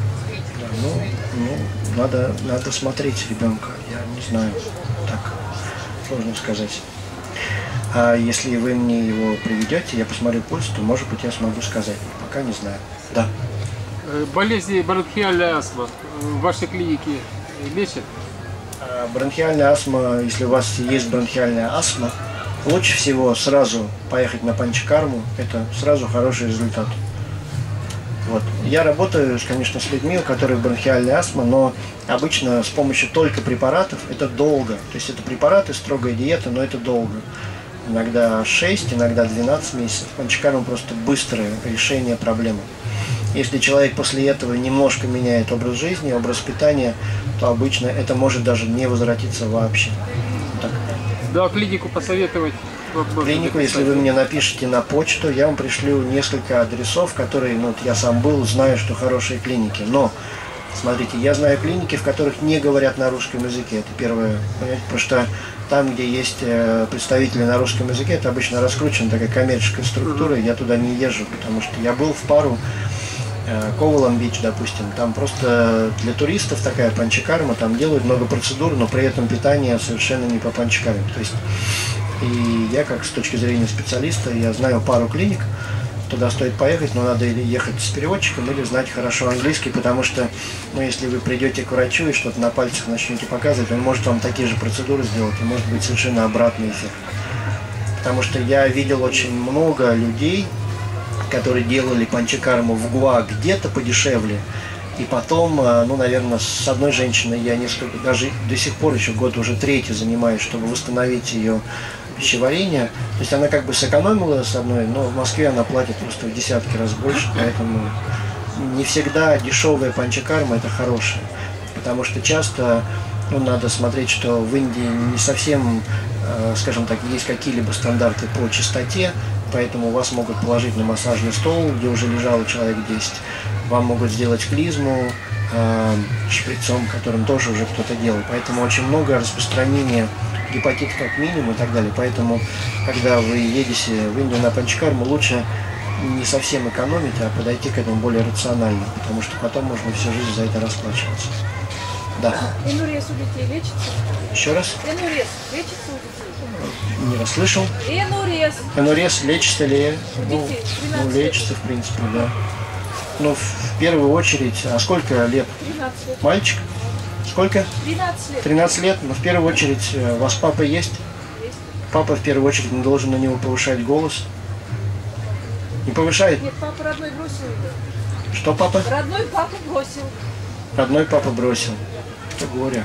Ну, то есть, смотрите, очень часто у детей, в каком-то из аюрведических текстов написано, я видел много врачей, первая рекомендация, когда э, у ребенка инурез, это то, чтобы особенно папа, если это мальчик, если мама, если девочка, то это мама, никогда не повышали голос на ребенка и всегда проговаривали с ним, что они хотят. То есть все указания ребенку должны быть не в форме э, приказа, а в форме обсуждения с ним, что вы хотите, чтобы он, это, он или она это сделали, потому что это вот вы бы также тоже сделали и так далее, и так далее. То есть и ребенку не хватает внимания от одиночества, у него, э, ну, в первую очередь, расстройство нервной системы. Но когда э, папа или мама уходит из семьи, то это уже может быть еще и другая проблема, которую надо просто ну, воздействовать, в принципе, психосоматическая. Да? То есть вообще это психосоматическая проблема с точки зрения восточной медицины. Это не нужно лечить антибиотиками точно, потому что это не поможет. Еще вопросы? Да. А как можно вылечить синдром Жильбера? Ну, это долгая история. Синдром Чебера. Да, это очень долго. Надо смотреть, сколько лет это существует, потому что иногда это нельзя вылечить полностью, но это можно поддерживать с помощью трав. Вот. Потому что это по-другому все равно никак не лечится. Просто иногда некоторые говорят, что вот в Аюрведе все так долго и так далее, и так далее. Ну, к примеру, возьмем, допустим, э, ревматоидный артрит, да, который, в принципе, современной медициной не лечится. Ну, конечно же, вам могут поменять суставы, сделать новые. Вот, но, допустим, когда человек уже на кресле, ну, то есть его только возят, после панчкармы совершенно точно человек начинает передвигаться. То есть вот эта плотная структура, которая в суставах, она немножко рассасывается. И, может быть, э, две или три панчакармы человек действительно начинает ходить. То есть, да, это несколько лет, но если сравнить с тем, что он вообще никогда не будет ходить, и несколько лет, то это очень быстро. Так и здесь. То есть, надо смотреть просто, насколько болезнь хроническая, и что с ней вообще возможно сделать. Да. Вот у женщин э, варикоз э, по- появляется по- после родов. Вот вы говорили, что это один из способов как бы лечения, да, или это от таза э, вниз массаж делаем. А что еще может быть? А, ну, пожалуй, еще нужно принимать какие-то препараты, которые улучшают сосуды. То есть вот в Аюрведе есть препарат, то, что в России зарегистрировано, это дыхание Вселенной. Он приводит, в принципе, всю вегетососудистую систему в порядок. А, дело в том, что просто перед родом и во время беременности, если женщина делает такой массаж, то это обычно ну, снижает э, такую возможность большого варикоза после родов. То есть э, дело в том, что по- поэтому в Аюрведе существует подготовка к беременности, правильное проведение беременности и, так сказать, восстановление после родов. Да. Какие рекомендации для лечения при возникновении чили? При возникновении черев какие рекомендации в лечении? А, Ну, в первую очередь э, поддерживать иммунитет, иммунную систему, да, потому что обычно такие вещи не будут возникать, когда хороший иммунитет. Вот. Для этого существует такой препарат 5 стихий. Он очень хорош для поддержания иммунитета. Или вот ну, препарат, который не зарегистрирован в России, но так или иначе люди его продают. Тришун очень хороший. Он противовоспалительный. Тришун. Тришун, да. Вот это препарат компании Занду. Противовоспалительный, он обычно убирает такие вещи из организма. Еще очень хорошо принимать э, травки, которые чистят печень, чистят поджелудочную. Э, препарат, вот есть готовый Лив 52, который в аптеках продается во многих. Но, э, да, и есть еще такой препарат Радуга от компании Просвет, который также гепатопротектор, который влияет на качество крови и иммунитет. То есть здесь комплекс просто трав, и можно э, эту проблему убрать.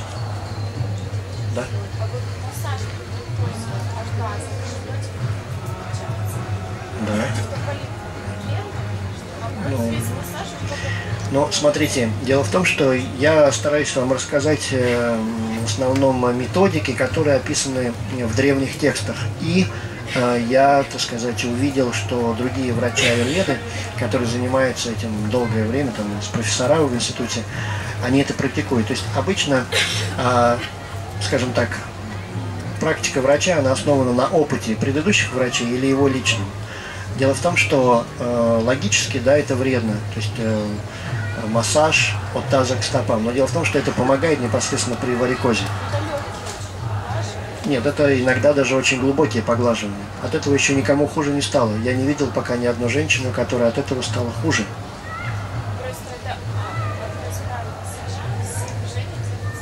Из правил какого массажа? Классического западного массажа, да. А в Айрведе есть другая техника массажа, которая сказано, что вот такой массаж очень хорошо при варикозе. Обычно мудрецы, которые писали эти техники, они перед тем, как записать что-то, они проверяли на десятках людей, работает ли это так. И они видели тело немножко по-другому. То есть как человек, ну как то, что мы называем видящие, да, то есть они видели тело по-другому. И поэтому их техники, они работают по-другому. Это не всегда поддается логике, но это работает, поэтому это используют в аюрведе. Вот. Да. Скажите, какие есть методики для улучшения памяти, сосредоточиться, внимания? Ну, Какие есть методики в аюрведе для сосредоточения, для улучшения памяти и что еще? Ну и внимательность. И внимательности. А, ну, методики в первую очередь это пранаяма. Обычно пранаяма, которая балансирует непосредственно вашу душу, то, что я рекомендую, это аналома вилома. Второе – это концентрация на э, точке или концентрация на свече, также это помогает концентрации. И третье – это прием э, препаратов, которые э, называются э, чакшушья или препараты, которые называются расаяна, то есть то, что омолаживает, э, улучшает э, кровообращение и утрацию, без каких-либо побочных эффектов. То есть это не тоники для тела, там никакие Red Bull ни в коем случае, это именно такие препараты. Есть такой препарат в России зарегистрирован равноденствие. Он очень хорошо для улучшения циркуляции правого и левого полуш- полушария и для улучшения концентрации. Я его использую для детей, у которых как раз вот такое слабое замедленное развитие, очень хорошие результаты. И даю также всем студентам, особенно перед экзаменом. Помогает концентрации. При этом человек не чувствует никакого перевозбуждения, он очень хорошо спит. То есть это как бы немножко другая техника воздействия. Также есть просто вот отдельные травки брахми, то, что здесь продается, но я не использую обычно отдельные травы, потому что они малоэффективны. Вот. Ну как, такие простые рекомендации. А, просвет. Компания Просвет, да. да. Э, То есть э, вот про все эти препараты вы можете посмотреть у меня на сайте ayurveda.ru. Я там с точки зрения аюрведы описал очень глубоко, потому что э, дело в том, что э, в аюрведе на самом деле подход не из того, из чего состоит препарат, а как он воздействует. То есть, к примеру, в аюрведе есть такое понятие там дипан пачан. И врач аюрведа или специалист, который разбирается в этом, он понимает, что этот препарат он помогает дипан усвоению, пачан перевариванию. Или, допустим, э, есть бруммана, такое качество. Это значит, что этот препарат усиливает силу человека, в том числе и его потенцию. Поэтому никакой аюрведический врач не смотрит, что же там в составе, потому что когда вы принимаете, допустим, куркуму, вы понимаете, она чистит кровь.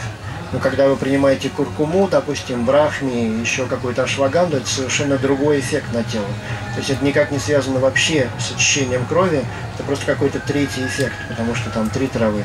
А когда травы, а когда препараты состоят из 20 или 50 трав, то это вообще совершенно другой эффект. Поэтому очень важно, э, еще раз возвращаясь, смотреть не на состав, а именно написание с точки зрения аюрведа, как он работает. Тогда вы будете понимать, как, на какие системы воздействует. Потому что основные заболевания, которые мы знаем из современной медицины, в аюрведе это обычно совершенно другие заболевания, совершенно по-другому они называются.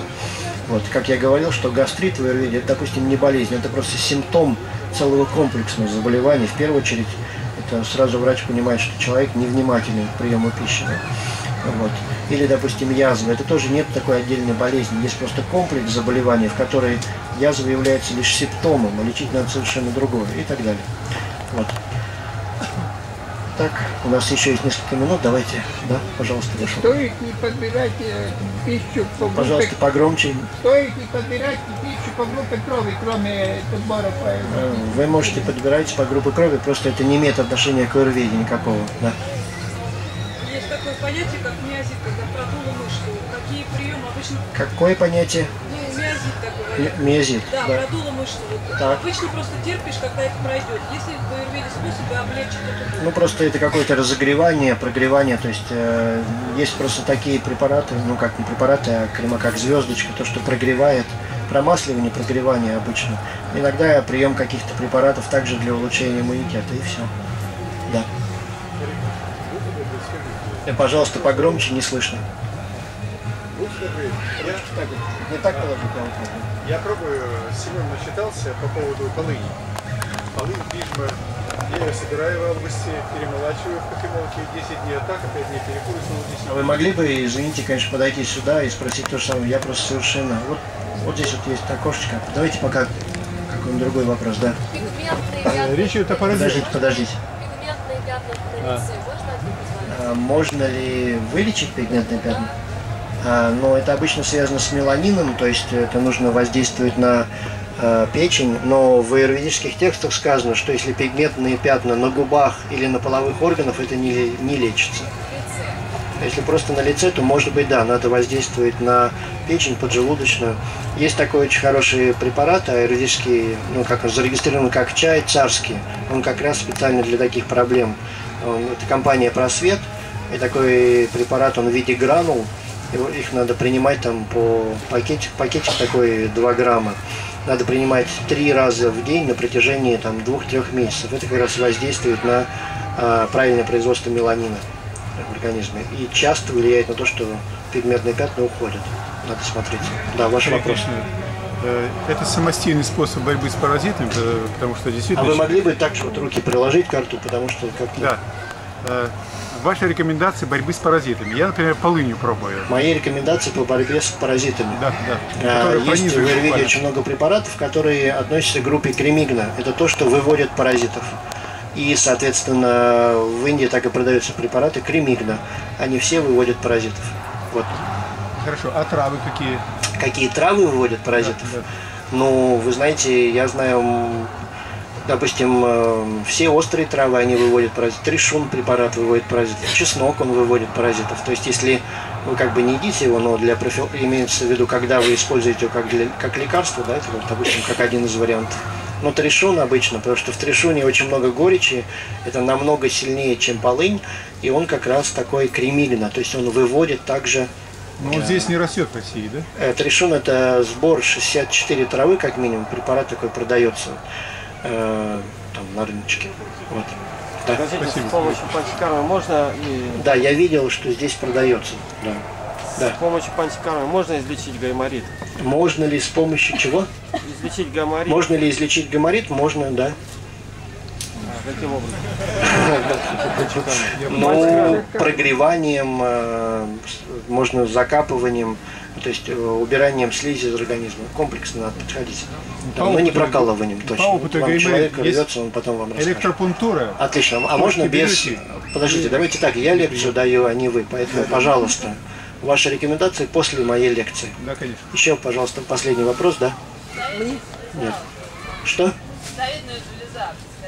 Щитовидная железа, рассказать, что о щитовидной железе, о ее функциях или о чем? Что полезного можно для щитовидной железы? А, чтобы она что, не росла или не функционировала, что я не понял вопрос. А вы не знаете, что спросить? Почитайте учебник анатомии, физиологии, там все про щитовидку написано. Да. Про вари- варикозное расширение вен расскажите, вот какие вот э, юридические способы избавиться? Я уже сегодня рассказывал про варикоз я несколько раз. пришла. Если поздно пришли, пожалуйста, в записи. Я не повторяю тоже. Да. Эм, Ну, то есть, смотрите, есть определенные смеси, в том числе включая куркуму, которые влияют на заживление. Вот. Но нужно смотреть, будет ли только куркума на это влиять. Обычно еще используется, вот, например, также полынь, пижма в смеси. Они очень хорошо влияют на заживление ран. Иногда. А иногда надо просто ну, э, применять какие-то другие средства. Все зависит тоже от вязкости крови и так далее. Итак, большое спасибо. А, К сожалению, по времени мы должны просто освободить. Э, Большое спасибо, Хари Кришна.